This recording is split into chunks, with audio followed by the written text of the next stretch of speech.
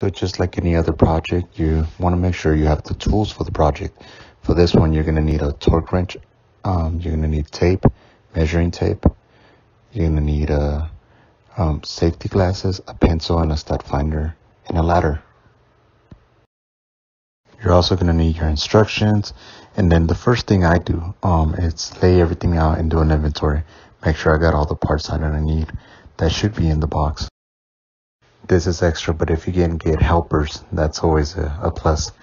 And then the next thing I do is um, trying to get a feel for um, how the boxes are, are, I'm gonna rearrange them and how far I need to put um, the rack uh, from the wall to make sure that they fit in the configuration I want.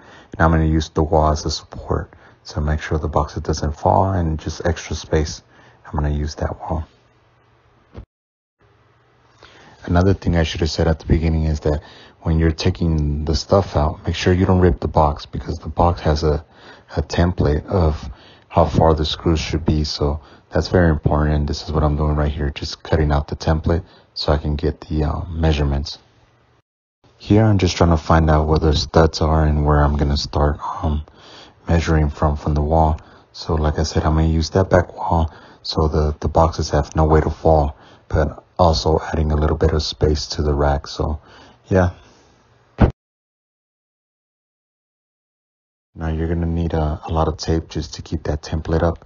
And then um, always uh, the first thing to do is pre-drill, pre-drill um, your holes so you don't you don't just start um, trying to make the big hole for, for the screws. Um, and that's all in the instructions. It tells you the size of the pre-drill. Here I measured like three or four times. I, I wanted to make sure that my my uh, distance was correct for the screws. Once you start making holes in the walls and um, and then cracking into the wood, um, so that's I didn't want to uh, have to do it uh, multiple times. So I found a discrepancy between the template and the instructions. So I just used the template. I went off the template. I think there's a a few inches um, difference.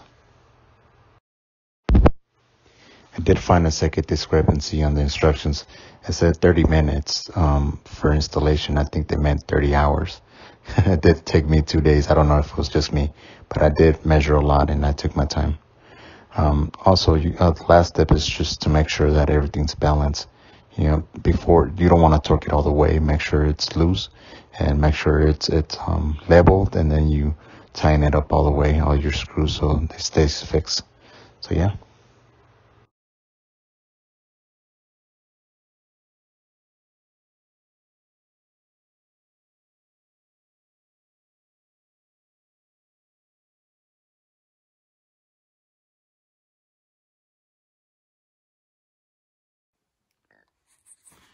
So this is the final product. As you can see, um, fits really nice. Um, when I was saying use the wall as extra storage, you can see the boxes. There's no way for them to fall. And you add an extra six inches or so. So yeah, really nice.